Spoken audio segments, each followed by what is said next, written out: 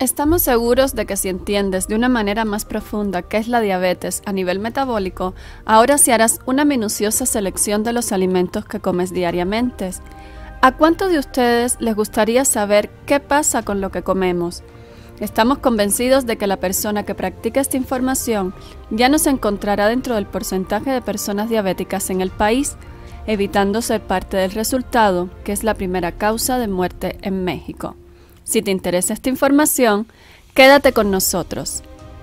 Bienvenidos a su podcast Punto de Vida, su podcast de salud.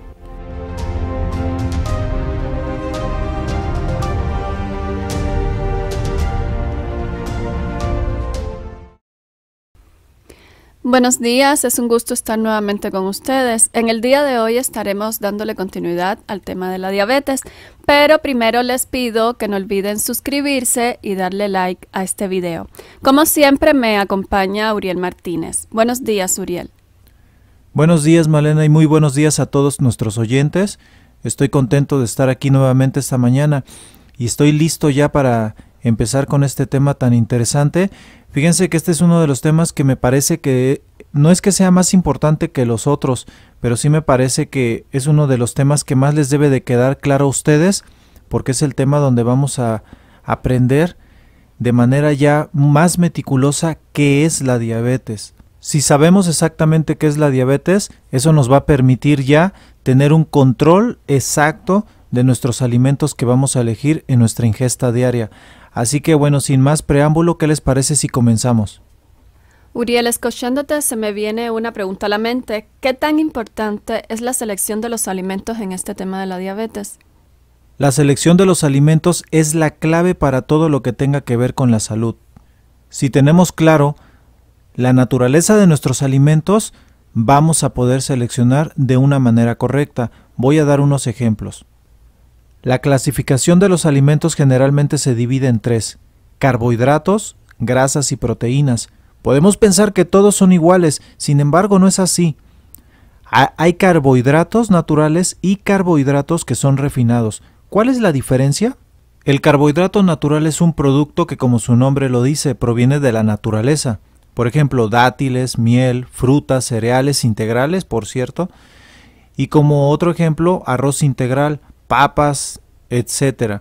Hay muchos alimentos más. Estos productos son ricos en micronutrientes, que son vitaminas, son minerales, antioxidantes y sobre todo fitoquímicos, que estos son los que ayudan a curar y equilibrar la función celular.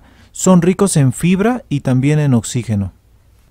Sin embargo, hay otro tipo de carbohidratos con otra naturaleza que para el humano es lícita, pero para el organismo es ilícita e incompatible.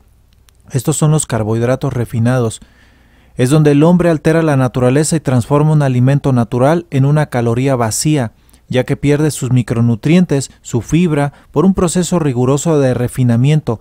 Como ejemplo está el azúcar, y estamos hablando del azúcar blanca, arroz blanco, todo tipo de harinas refinadas y lógicamente los productos con los que se elaboran estos ingredientes. Estamos hablando de los panes, pasteles, flanes, frituras y alimentos o todos los alimentos que usted mire en un supermercado que ya estén en caja, que vengan embotellados, es decir, todo lo que se le conoce como alimento industrial. Se va a escuchar un poco fuerte lo que voy a mencionar en este momento, pero este tipo de carbohidratos refinados no se consideran químicamente alimentos, es un producto ya alterado, procesado, que no que prácticamente estamos metiendo a nuestro cuerpo algo vacío, ¿verdad? Solamente algo como sintético, por llamarlo de alguna forma. Muy bien, Uriel. ¿Y ahora qué pasa con las grasas? Porque cuando una persona se enferma, le dicen que reduzca el consumo de carnes y alimento de origen animal. Y en casos muy rigurosos les dicen que eliminen las carnes rojas. Entonces, si supuestamente a casi todo el mundo le dicen que las carnes son tan buenas, ¿por qué mandan a eliminarlas cuando hay un problema de salud? Pasa igual con los carbohidratos. Hay dos naturalezas contrarias. Podemos elegir grasas en los alimentos de origen animal. Estamos hablando de pollo, de pescado, cerdo, vacuno, todos los derivados como el jamón, chorizo, lácteos y sus derivados como los quesos, mantequilla, etc. Este tipo de grasas se consideran grasas saturadas. Son las que se convierten en triglicéridos de mala calidad y en su almacenamiento nos irá aumentando el peso debido a que hay una sobresaturación de triglicéridos en las células adiposas, haciéndonos propensos también a diabetes, problemas como el hígado graso y diversos tipos de cáncer, también enfermedades de corazón, bloqueos en las arterias, alteraciones hormonales, entre otros. Hay que tomar en cuenta, Malena, que todos estos problemas son muy importantes para la salud, porque no solo es diabetes lo que vamos a generar, Ahora demos gracias a Dios que existen otro tipo de grasas que son insaturadas y saludables, y que igual que los carbohidratos genuinos, también son dotados por la naturaleza. Estas van a ayudar a contrarrestar todos los males causados precisamente por los carbohidratos refinados y las grasas ilícitas para nuestro organismo. Miren, como ejemplo de estas buenas y genuinas grasas son los cacahuates, las semillas de girasol, nueces, semillas de linaza, aceite de soya, aguacate, aceite de maíz, etc. Todo esto hay que tomar en cuenta que ha sido dotado por la naturaleza. Nosotros como humanos no hemos participado en absoluto para crear este tipo de alimento. Por último, también tenemos dos bandos de naturaleza proteica.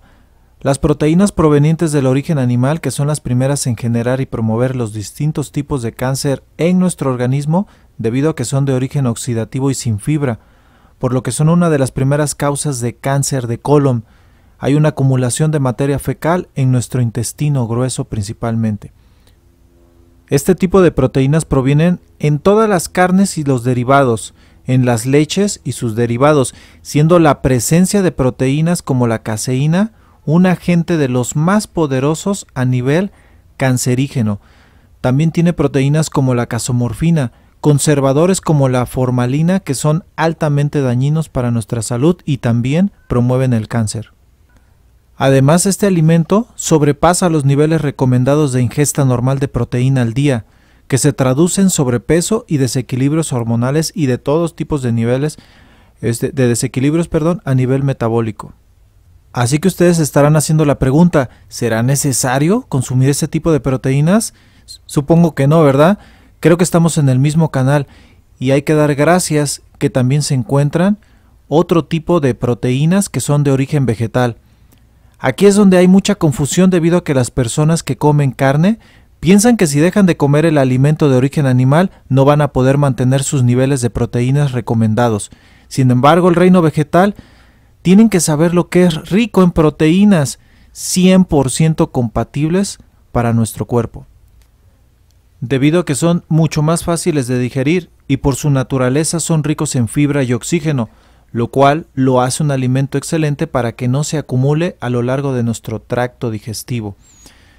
Miren, ni siquiera tenemos que ser tan meticulosos en buscar la proteína ya que se encuentra en la mayoría de los alimentos de origen vegetal como lo son las legumbres, oleaginosas, cereales.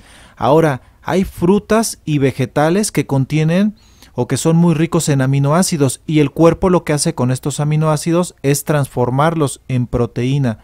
Entonces, no tenemos por qué preocuparnos eh, por los niveles adecuados de proteína en la ingesta diaria. Ahora sí, hemos comprendido que hay dos bandos contrarios en la clasificación de los alimentos, el reino vegetal y el reino animal, con sus pseudoalimentos también, que pertenecen a los carbohidratos refinados. Uriel, entonces entiendo que si no elijo bien la naturaleza de mis alimentos, pues tendré un problema. Pero ¿cómo contribuyen estos alimentos a que haya diabetes?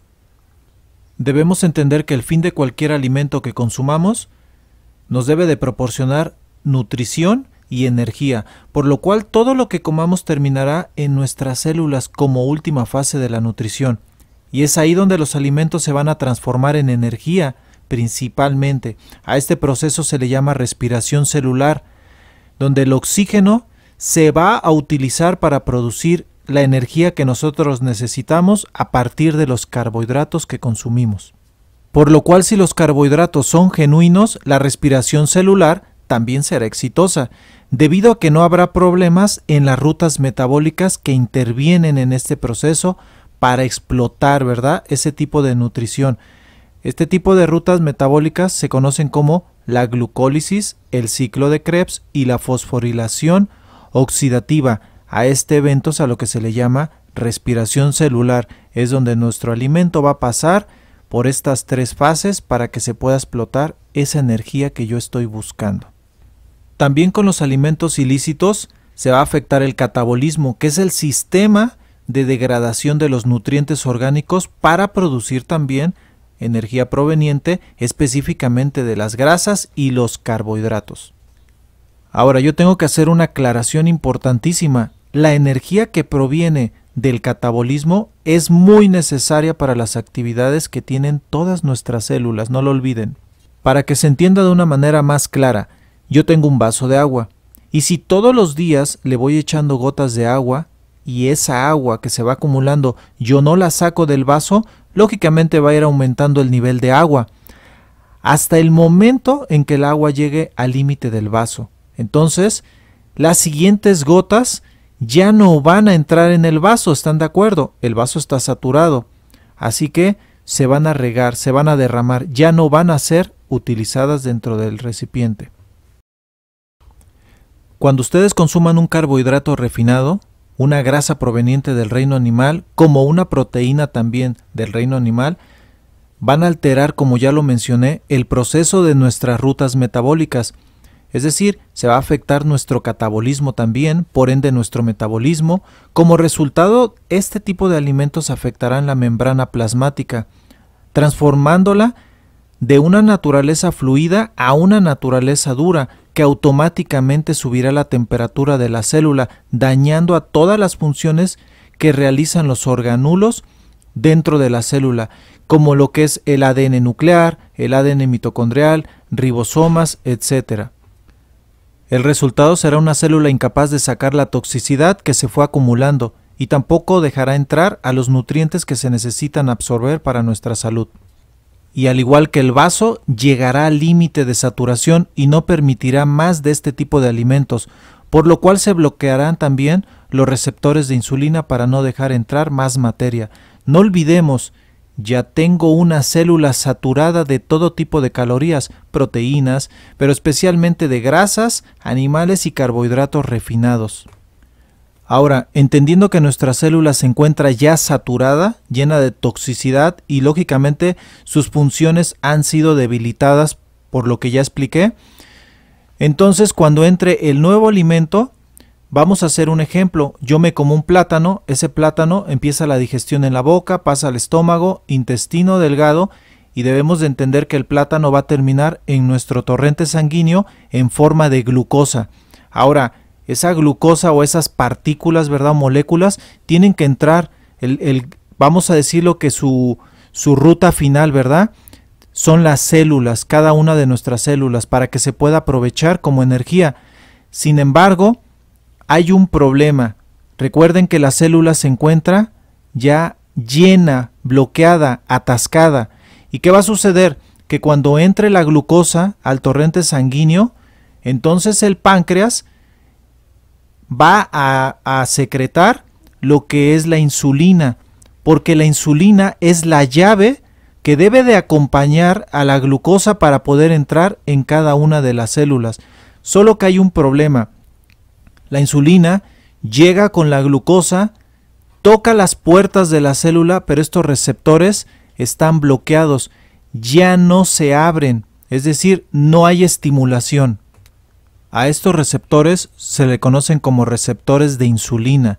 Entonces, la insulina es la que estimula para que ellos abran y puedan entrar las moléculas de glucosa, pero debemos entender que en este momento se encuentran bloqueadas. Ahora, aquí va a suceder algo interesante. La glucosa, al no poder entrar correctamente a las células, se va a quedar transitando por nuestro torrente sanguíneo. Debemos de interpretar de manera correcta que la glucosa sigue siendo alimento, entonces tiene tiempo de vida. Si esa glucosa no llega a entrar correctamente a la sangre para poder ser utilizada, llegará el momento en que se va a fermentar. Entonces ahora yo voy a tener otro problema. Voy a tener alimento fermentado, que esto va a ir eh, de alguna manera afectando nuestras arterias. ¿Por qué? Porque al estar esa glucosa dentro de, la, de nuestro torrente sanguíneo y también partículas de colesterol y partículas de triglicéridos que se van a entregar, hay una saturación, lo cual va a permitir que estos elementos se vayan adheriendo a nuestras arterias formando placas de ateroma. Es lo que regularmente le llaman que se van endureciendo. ¿Por qué? Porque van atacando el endotelio, que es el órgano que protege nuestras arterias. Les permite tener una buena vasodilatación y una buena vasoconstricción. Entonces ahora hay otro problema. Recuérdenlo, tengo ya alimento fermentado. Pero viene el tercer problema y uno de los más graves. El páncreas no sabe interpretar lo que está sucediendo. Él solo entiende que la insulina que está mandando al torrente sanguíneo es insuficiente porque él se da cuenta que la glucosa no logra entrar a las células, pero él no sabe que es porque una célula está atascada, ¿verdad? Está llena. Él interpreta que es su culpa, por lo, por lo que él va a generar más cantidades de insulina para poder bloquear o neutralizar esos grandes porcentajes de glucosa. Entonces, en un hábito constante del, del páncreas, estar estimulando, estimulando y, y sacando y secretando insulina, se va a dañar, se va a lesionar. Y ahora yo voy a tener otro problema, voy a tener un páncreas dañado. Si vemos desde un panorama general, entonces vamos a entender que la diabetes son células llenas, alimento fermentado dentro de nuestras arterias y un páncreas lesionado. Prácticamente esto está dañando a todo el organismo. ¿Por qué? Porque va a haber un exceso primero de triglicéridos, de colesterol, de proteínas también corriendo por nuestro torrente sanguíneo sin poderse aprovechar. Y lo más importante de todo es que después tendrá un retroceso este tipo de, de mecanismo. Por eso es que vemos que a las personas diabéticas primero su tendencia es aumentar de peso y después a disminuir su constitución porque al estar fallando el páncreas al no poder entrar bien la glucosa y ser aprovechada en las células, el cuerpo empieza a utilizar la grasa que tiene acumulada como energía, que son los triglicéridos, y para esto hay un proceso en donde va a afectar al organismo, porque los triglicéridos van a ser entregados tanto por el, eh, lo que se le conoce como colesterol de muy baja densidad, que es un tipo de lipoproteína o transporte de triglicérido, y también por los kilomicrones, que estos se van a elaborar en el intestino. Ahora, hay que entender que cuando los kilomicrones y cuando la lipoproteína de muy baja densidad entreguen los triglicéridos para que el cuerpo los pueda convertir en energía, ahora estas dos sustancias o estas dos lipoproteínas van a ser concentraciones de colesterol que van a ir directamente a pegarse este, en las arterias como placas de ateroma. Entonces, la persona diabética empieza a tener diversas alteraciones, todas graves, y, este, y lo más importante es que eh, si a eso le agregamos las colaciones de estar consumiendo alimentos fuera de las tres, vamos a decirlo, de, de los tres alimentos reglamentarios, todavía vamos a estar agravando mucho más esta situación para el diabético. De manera general, la persona diabética va a tener una desnutrición porque la mayoría de su alimentación, como ya lo vimos, no es bien elegida, es ilícita para el organismo. Va a tener problemas cardiovasculares debido a los agentes proaterogénicos como las lipoproteínas que entregan los triglicéridos y también las personas van a tener problemas de presión arterial. Es decir, es, una, es un problema que se va generando entonces, ¿cómo revertir? ¿Cómo revertir este problema cuando ya se generó en el organismo? Bueno, eso va a ser para el siguiente podcast. En este podcast se entendió qué es la diabetes, ¿verdad? A nivel metabólico. Ahora para el siguiente podcast vamos a entender cómo revertir el problema. No se lo vayan a perder. Va a estar muy interesante. Y bueno, yo sé que se van a quedar con dudas como se quedaron en el primer podcast, pero no se desesperen, vamos a dar más información.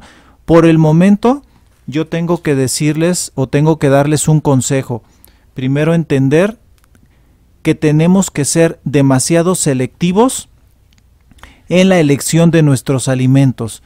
Tenemos que eh, hacernos a la idea y de alguna manera promover en nuestra mente la idea de consumir alimentos meramente de origen vegetal, que son alimentos genuinos, ¿verdad? Que el cuerpo los acepta prácticamente al 100%, que son fáciles de digerir, que son ricos en micronutrientes, ricos en antioxidantes, eh, son, son este, alimentos que van a favorecer y a promover la salud. Entonces, ese es el primer paso, poder entender que hay otros alimentos que no van a saturar mis células, que no les van a quitar su función metabólica natural. Y entonces se puede revertir este problema. Nunca lo duden. En todos los casos, de una menor o mayor proporción, se puede revertir. Pero bueno, por el momento es todo. Yo estoy muy contento de haberles podido compartir esta información tan importante. Recordemos que este es un tema vital. No lo olviden, México tiene la primera causa eh, de muerte como la diabetes, ¿verdad? Esa es, eh, es la enfermedad que más nos está pegando. Y miren, lo más importante es que sepan que se puede evitar, podemos romper con esas cifras solamente escogiendo correctamente qué voy a comer, cómo voy a vivir, mi ejercicio, ¿verdad? que voy a realizar y por otro lado, el tipo de tratamiento correcto, que eso lo vamos a ver en el siguiente podcast. Por el momento es todo, me despido de ustedes, les deseo que tengan un excelente día y bueno, hasta el siguiente podcast. Entonces, Uriel, en conclusión, no todo lo que brille es oro. Si vemos un alimento de origen animal, se ve bien, pues puede ser. Sabrá bien, pues quizás. Pero la pregunta más importante es, ¿nos hará bien? Definitivamente no lo creo porque es una grasa saturada, sólida a temperatura ambiente, que se convertirá en un mal triglicérido. Los alimentos con carbohidratos refinados se ven bien y supongo que también saben bien, pero ¿sabían que este tipo de azúcar se le llama el sustituto de la carne porque se convierte en grasa y al igual que las grasas animales se convierten en triglicéridos? Por lo que serán triglicéridos malos debido a que estás consumiendo una caloría vacía. Los tres efectos más potentes son problemas al corazón, obesidad y diabetes. No te dejes engañar, si eliges bien, no serás un candidato más en el tema de la diabetes y demás enfermedades. Como siempre, les agradezco que nos hayan acompañado y les deseo excelente tarde y bendiciones.